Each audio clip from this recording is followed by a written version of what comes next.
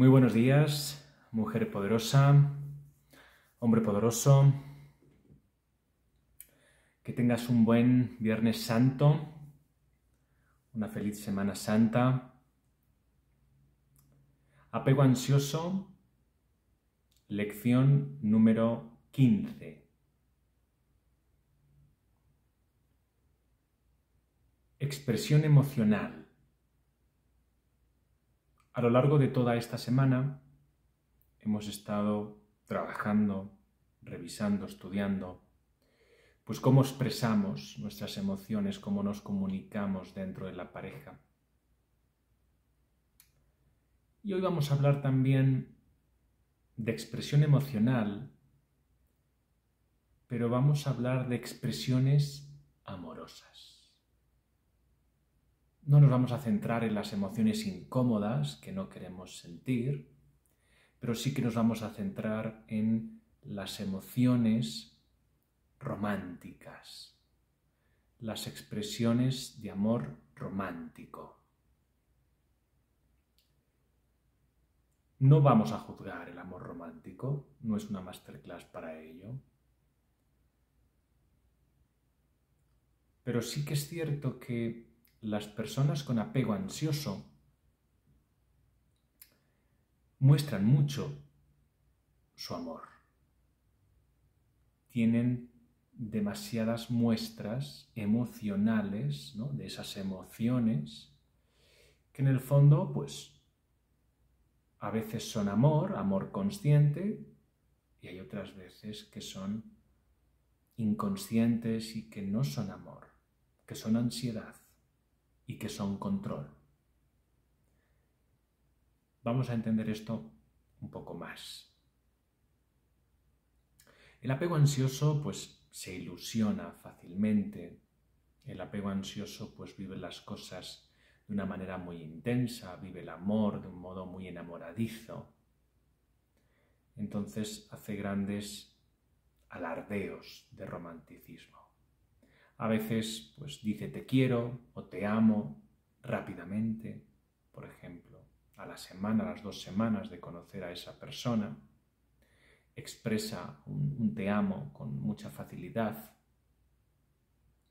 A veces pues hace muchos regalos al principio sin conocer mucho a la otra persona, empieza a regalar cosas. Otras veces pues se encarga de planificar pues, siempre las quedadas, por ese amor, amor intenso que vive dentro de él o dentro de ella. Entonces, todo ese amor que hay dentro del apego ansioso, hay una parte que es un amor real, pero hay otra parte que no es amor. Cuando damos tanto amor, cuando tenemos tantas demostraciones de amor con nuestra pareja, detrás de todo eso hay control. Solo que es un control disfrazado de romanticismo. Por eso damos tanto, por eso intensificamos tanto el romanticismo en el vínculo. Por eso cuando soy romántico con mi pareja, pues utilizo una gran cantidad de palabras para expresarle todo lo que siento. O a lo mejor, pues, tiro de romanticismo y le escribo una poesía de tres páginas. O le escribo un mensaje de WhatsApp donde le relato todo lo que siento por él y le hago pues un detalle exhaustivo de esas emociones y bueno, pues hago hacia el otro una sobredosis de amor romántico. Está bien que expresemos nuestro amor, está bien que expresemos el romanticismo, pero claro, sabiendo que somos apegos ansiosos, se nos va a ir de las manos. Vamos a expresar más amor de lo que corresponde. Vamos a expresar más amor de los límites establecidos a nivel sistémico dentro de la pareja. Entonces, ¿qué pasa? Que cuando tú entregas al otro una sobredosis de amor,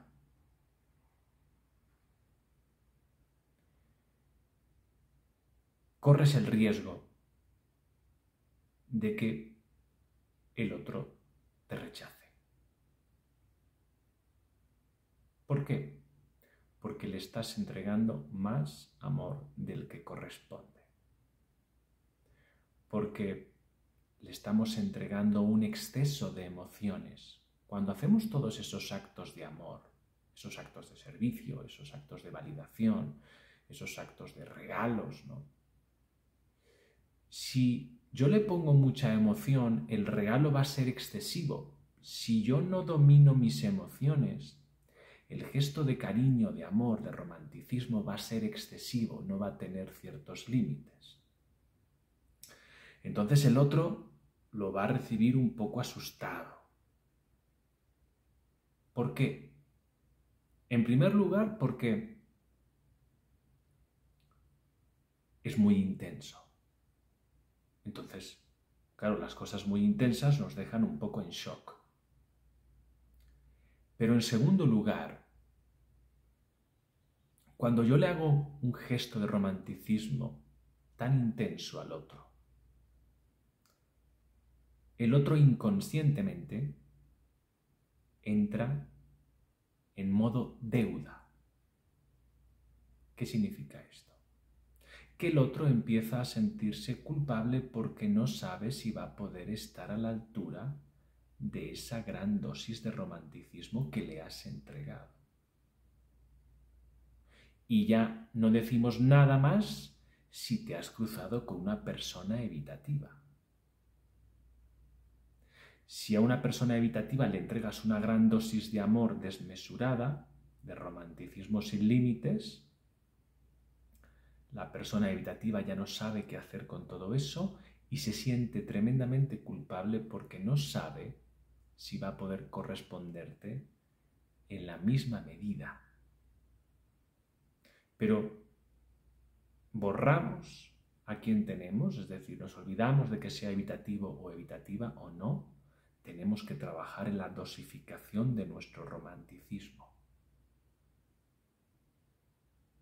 Porque al margen del estilo de apego que tenga la otra persona, a nivel sistémico, cuando yo te entrego algo muy grande, muy grande, es una gran dosis de romanticismo, te la entrego y te la coloco. Te paso una patata gigante, caliente.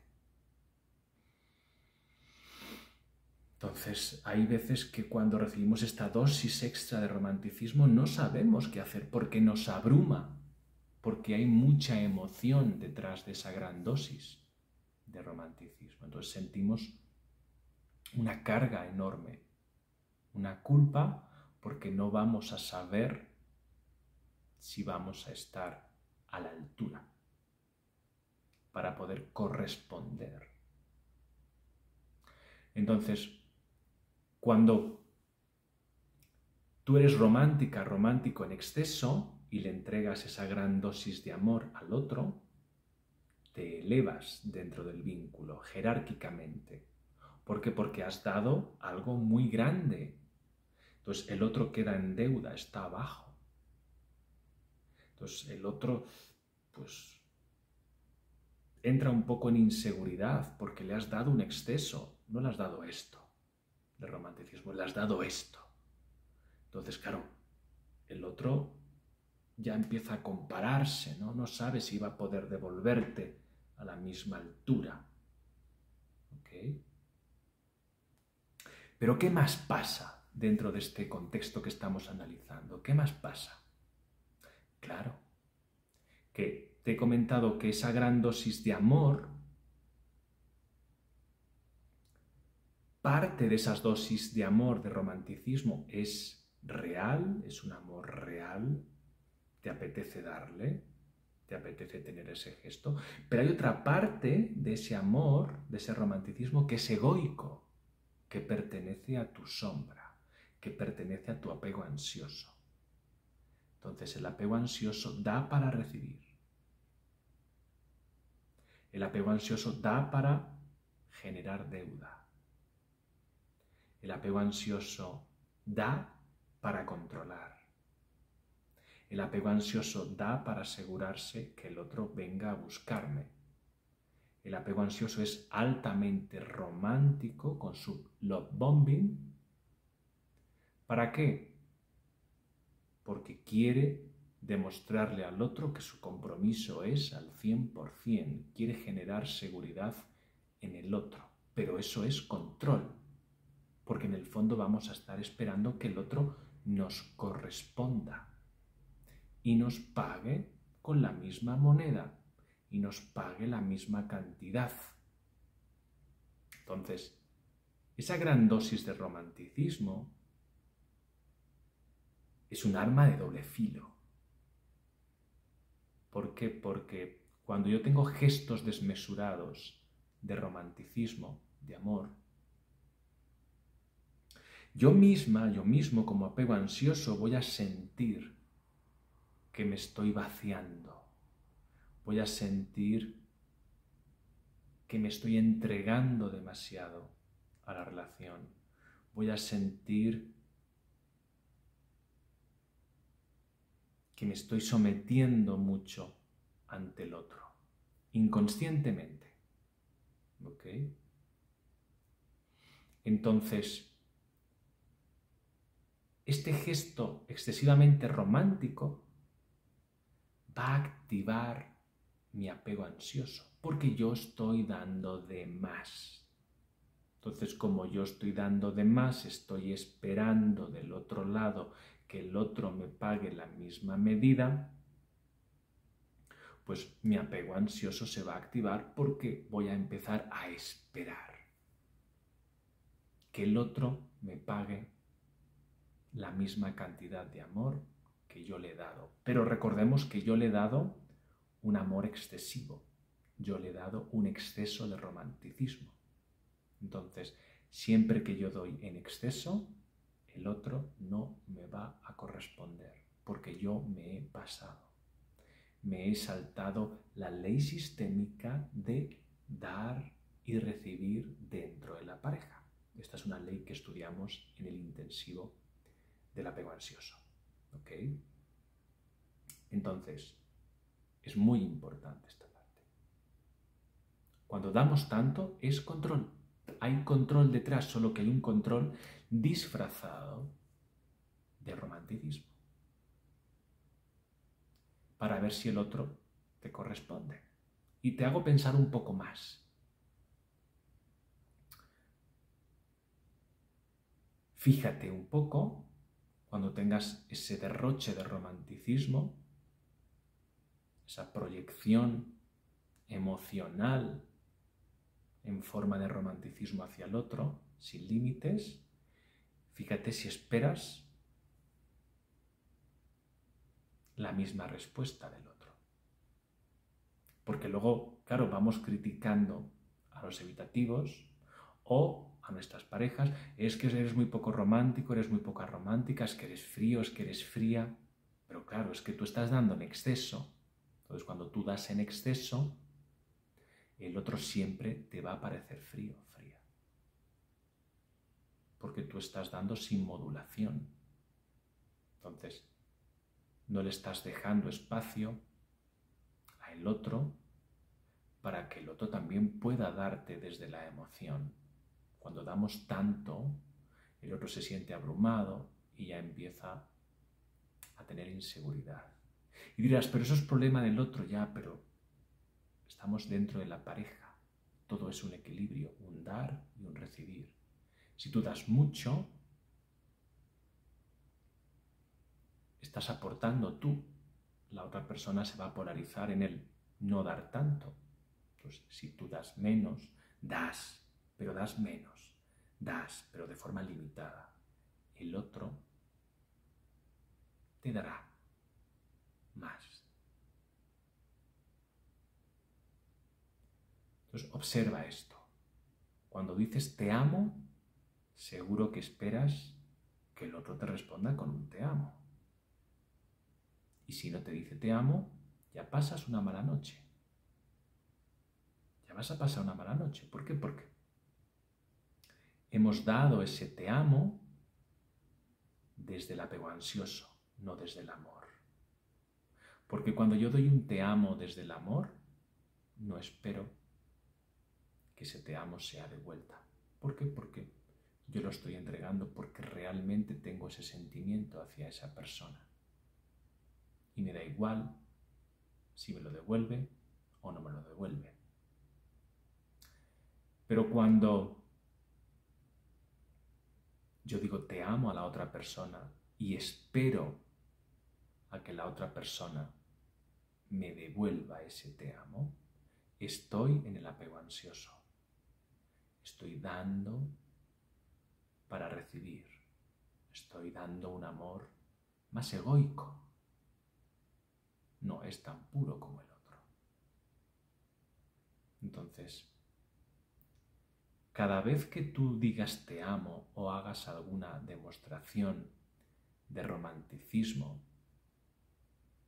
ya no vamos a meternos en si es desmedida o no es desmedida.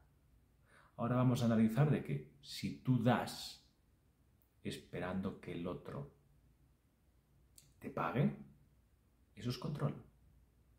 Entonces, el amor que das desde el control el amor que das esperando que el otro te devuelva es un amor que va a generar rechazo y abandono. Es un amor donde el otro se va a acabar alejando de ti. Porque a nivel inconsciente las neuronas espejo huelen esa necesidad de que le estás dando en modo egoísta, de que le estás dando para que te devuelva. Bien. Por lo tanto, hay una tarea pendiente si queremos sanar el apego ansioso para, por un lado, bajar la intensidad a nuestro romanticismo. ¿Me permito el romanticismo? Claro que sí, no vamos a censurarlo, porque es una parte importante dentro de la pareja a pesar de que se juzgue mucho en las redes sociales por Disney, por las princesas, por los príncipes. Bueno, eh, podemos permitirnos un poco de romanticismo consciente, pero si no gestionamos nuestras emociones, ese romanticismo va a ser desmedido.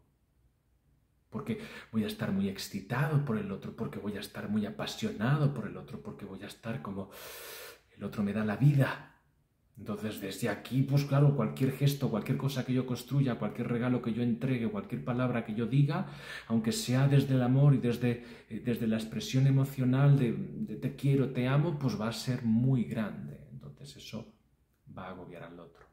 Pero sí que es cierto también que tenemos que dosificar la cantidad de demostraciones de amor, de romanticismo. ¿Por qué? Porque cuando constantemente estamos siendo románticos, románticas, a todas horas, lo estamos haciendo desde la inseguridad. Olvidemos que somos tan románticos y románticas para asegurarnos que nuestra pareja se encuentre conectados y conectada a nosotros. Lo hacemos por eso para asegurarnos que el vínculo sigue vivo. El vínculo va a seguir vivo aunque no lo riegues de romanticismo un día o dos días. No te preocupes. Entonces, claro, cuando damos tantos gestos, pero cuando damos tantos gestos de cariño, de romanticismo, estamos controlando, nos sentimos inseguros, inseguras. Entonces, demasiados te amo a lo largo del día, por ejemplo, generan inseguridad en la otra persona. La otra persona empieza a desconfiar de manera inconsciente. Y tú dirás, no, pero es que entonces la otra persona no sabe recibir amor. Ya, sí. Pero tu labor como apego ansioso es dosificar tu amor. Porque si tú sigues entregando tu amor a manos llenas así, desde el miedo, desde la inseguridad, controlando para que el otro esté ahí contigo, pues el otro lo va a percibir tarde o temprano. Y se va a sentir inseguro, insegura. Y no se va a fiar. Porque tú estás dando amor desde el miedo. Miedo a que no te abandone. Lo mismo pasa cuando yo no gestiono mis emociones y le propongo muchos temas de conversación y le mando muchas canciones románticas y le mando muchos temas, muchas poesías, ¿no? Pues es lo mismo. Es como lo estoy haciendo desde el miedo, tengo miedo a estar solo, miedo a estar sola, por eso le escribo tantas veces, aunque no me conteste. Y entonces, el otro, pues, tiene miedo, ¿por qué? Porque tarde o temprano le vas a pedir tarde o temprano le vas a reclamar.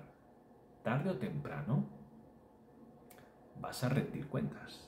Vas a ir con la factura del romanticismo que has pasado y se lo vas a exigir. Entonces, el otro, cuando tú tienes esa alta intensidad emocional en cuanto al romanticismo, a las demostraciones de amor, sabe que en algún momento le va a salir caro recibir todo eso inconscientemente.